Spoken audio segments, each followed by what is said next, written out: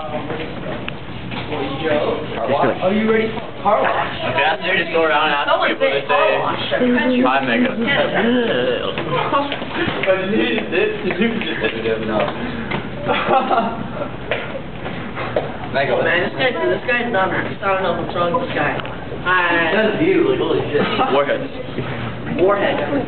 Log down, man.